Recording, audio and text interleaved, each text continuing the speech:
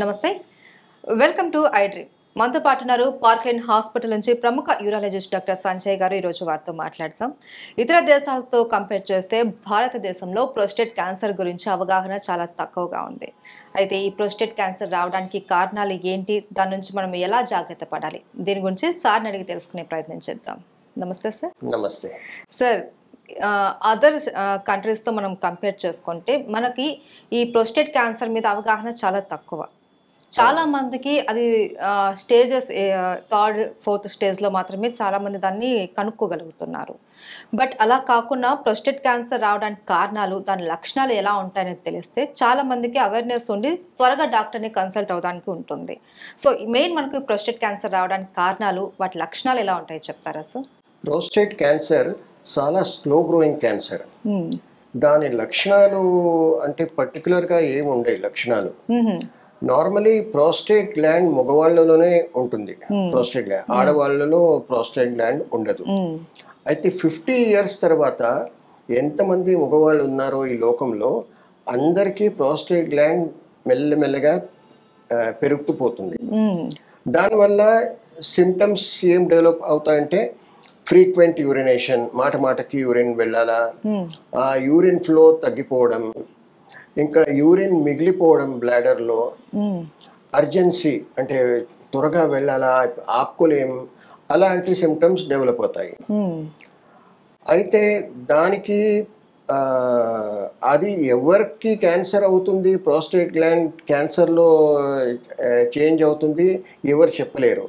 అందుకోసం fifty years in fact ఇప్పుడు యుఎస్లో ఫార్టీ ఇయర్స్ తర్వాత ఇప్పుడు మన ఇండియాలో ఫార్టీ నైన్ ఇయర్స్ తర్వాత అమెరికన్ గైడ్ లైన్స్ ప్రకారం forty nine to sixty nine years వరకు ప్రతి సంవత్సరం పిఎస్ఏ పిఎస్ఏ అంటే ఏమి? Prostate specific antigen. అది ప్రోస్టేట్ గ్లాండ్ ద్వారా ప్రొడ్యూస్ అవుతుంది. అది బ్లడ్ టెస్ట్ అది. అది ఎవ్రీ ఇయర్ చేయించుకోవాలి. పిఎస్ఏ టెస్ట్ చేయించుకోవాలి. ఇంకా అల్ట్రాసౌండ్ స్కాన్ ప్రోస్టేట్ది సైజ్ ఎంత ఉంది అది తెలుసుకోవాలి. అది కంపల్సరీ మన ప్రతి ఒక ఈజీ మెథడ్ అంటే ప్రతి బర్త్డేకి మనం బర్త్డేకి సెలబ్రేట్ చేస్తాము. అయితే ఆ దినము మనం ఒక హెల్త్ చెకప్ అన్నట్లు చేయించుకోవాలి. ఇంకోటి డిజిటల్ రెక్టల్ ఎగ్జామినేషన్. మేము. మన మోషన్ పోయే ద్వారా ద్వారం నుంచి ఫింగర్తో మనం ఫీల్ చేస్తాం ప్రోస్టేట్కి మేము. అయితే ఆ ఫీల్తో తెలిసిపోతుంది. రఫ్లీ. హార్డ్ ప్రోస్టేట్ క్యాన్సర్కి హార్డ్ అది ప్రోస్టేట్ హార్డ్ ఫీల్ ఉంటుంది. హార్డ్ అంటే ఎట్లా? మన ఈ నక్కల్స్ ఉంటాయి కదా ఆ ఫీల్ వస్తుంది. బినైన్ అంటే నాన్ క్యాన్సరస్ ప్రోస్టేట్లో ఇలాంటి ఇక్కడ ఈ ఫీల్ వస్తుంది. కానీ దాని అర్థం ఈ ఫీల్ వచ్చినా సాఫ్ట్ అంటే ఫర్మ్ ఫీల్ వచ్చినా దాని అర్థం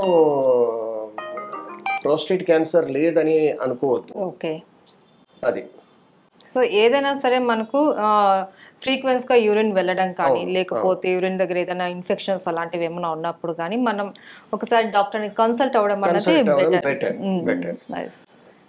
ప్రోస్టేట్ క్యాన్సర్ ఎందుకు వస్తుందంటే ఎక్కువ మీట్ ఎక్కువ ఫ్యాటీ పదార్థాలు తినడం వల్ల ప్రోస్టేట్ క్యాన్సర్ వచ్చే అవకాశాలు ఉంటాయి. లైక్ రెడ్ మీట్ లాంటిది sir red meat fat too much fat fatty diet అది.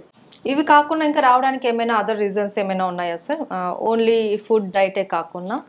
Food and mainly food and hmm. Food and infection hmm. అంతే. అది. ఓకే అయితే సార్ ఇప్పుడు ప్రోస్టేట్ క్యాన్సర్లో కూడా మనకు స్టేజెస్ ఏమైనా ఉంటాయా? స్టేజెస్ అంటే ప్రోస్టేట్ క్యాన్సర్ ఇప్పుడు మేము ఎన్లార్జ్ ప్రోస్టేట్కి ఆపరేట్ చేస్తాము. ఆపరేట్ చేస్తే అది ఆ స్పెసిమెన్ బయోప్సీకి పంపిస్తాం ల్యాబ్కి మ్మ్. అయితే దానిలో five to ten percent cancer ఉండే అవకాశాలు ఉంటాయి. బయాప్సీలో మనకు తెలుస్తుంది. బయోప్సీలో పిఎస్ఏ నార్మల్ ఉంటుంది. ప్రోస్టేట్ కూడా నార్మల్ ఫీల్ ఉంటుంది. కానీ బయోప్సీ చేసినప్పుడు అది five to ten percent cancer వచ్చే అవకాశాలు ఉంటాయి. ఓకే. ఉంటాయి.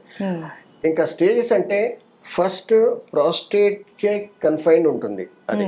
ప్రాస్టేట్ క్యాన్సర్ ఫోకస్ ప్రాస్టేట్లో ఉంటుంది.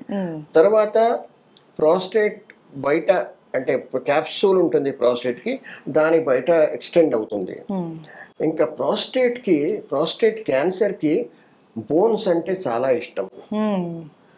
అయితే బోన్స్లో పెల్విక్ బోన్స్లో ఇంకా మన ఈ ఫీమర్ అంటారు దానికి అక్కడ స్ప్రెడ్ అవుతుంది. ఇంకా లోవర్ స్పైన్ లోవర్ స్పైన్లో స్ప్రెడ్ అవుతుంది.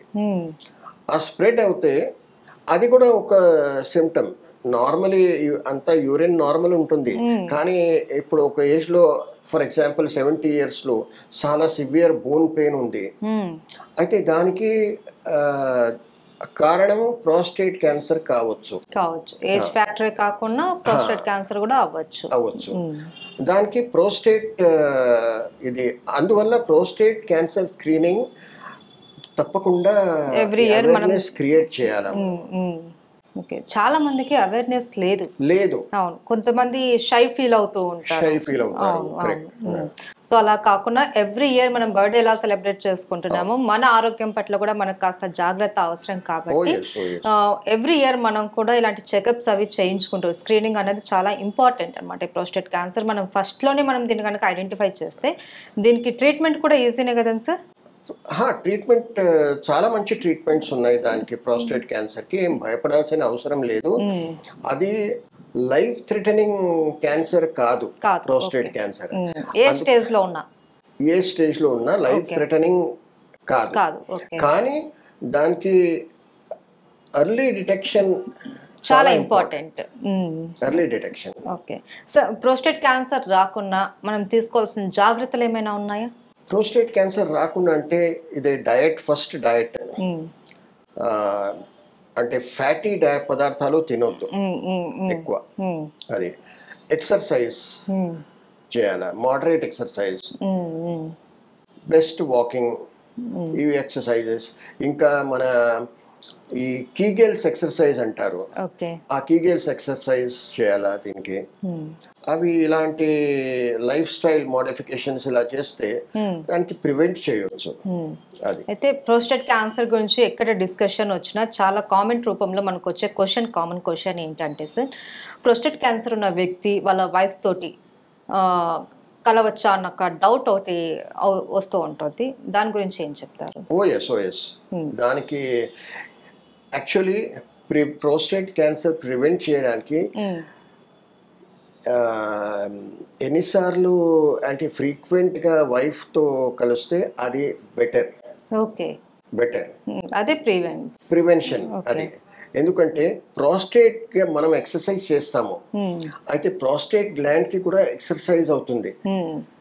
వైఫ్తో కలవడంలో ప్రాస్టేట్ గ్లాండ్కి ఎక్సర్సైజ్ అవుతుంది అందువల్ల ప్రాస్టేట్ గ్లాండ్ హెల్దీగా ఉంటుంది ఓకే అది.